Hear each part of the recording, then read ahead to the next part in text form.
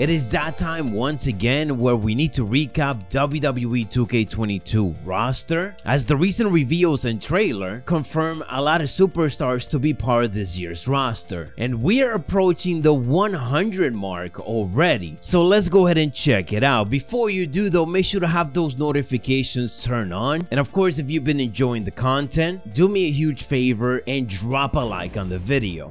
With that said, first things first, the official roster reveal is not here just yet, at least as of me recording this. But the good news is that uh, WWE Games on social media is already teasing it, so do expect that full roster very soon. This official roster page on WWE 2K website is gonna look very different within the next couple of weeks. Right now, as we can see, it's only listing 6 superstars. We got Edge, Hulk Hogan with a 92 overall, overall, Kevin Nash with a 90 overall, Rey Mysterio, Scott Hall with a 90 overall, and Sting with an 88 overall. I guess on this list we could also add Eric Bischoff, as of course he is going to be a playable character if you get the NWO edition of the game. But we got way more superstars basically confirmed for the game already through all of the trailers and reveal that we have gotten. Shout out to the SmackDown Hotel for always keeping it up to date and organized. And let's see who made the cut so far. We got AJ Styles, Alexa Bliss, Angelo Dawkins, Apollo Crews, Asuka, Austin Theory, Bayley,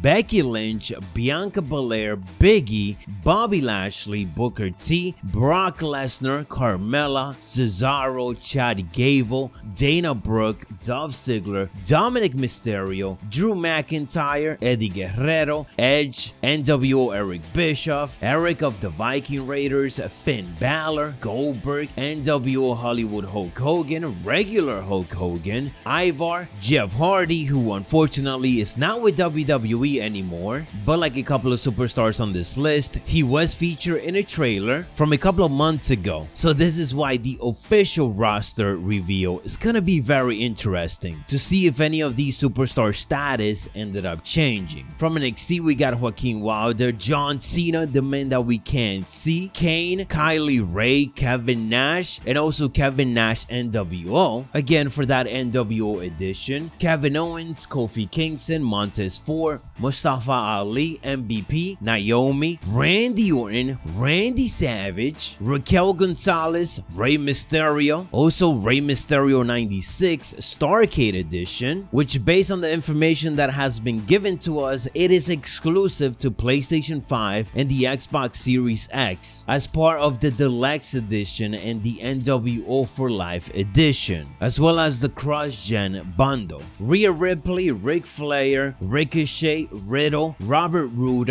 Roman Reigns, Samoa Joe, Sasha Banks, Scott Hall, Scott Hall NWO edition, Seth Rollins, Shawn Michaels, Shayna Baszler, Sheamus, Shelton Benjamin, Shinsuke Nakamura, Shotzi Blackheart, Sonya Deville, Stone Cold Steve Austin, Sting, also Sting NWO edition, Tamina, The Miz, The Rock, Triple H, Tyler Bate, Ultimate Warrior, Undertaker, and if you pre-order the game, you also get Undertaker Lord of Darkness, Undertaker Phantom Mask, and his WrestleMania 36 Boneyard edition. And last but not least, we got our king Xavier Woods. That is a total of 79 roster members confirmed so far through all of the different reveals that we have gotten for WWE 2K22. But to add a couple of more names into this list, a couple of managers and NPCs have been revealed. For my GM mode, Stephanie McMahon, Shane McMahon, Adam Pearce, and Sonya Deville will be the managers that you could pick from. Paul Heyman has also been confirmed, but just as a manager for either Roman Reigns or Brock Lesnar, not for my GM mode, at least as of right now. Expect that roster reveal to be coming out very soon, and I will certainly keep you guys up to date, so make sure to have those notifications turned on. Let me know down in the comments below which new superstars you guys are most excited for to be in this year's game, and you already know, stay savage, and I'll catch you on the next one.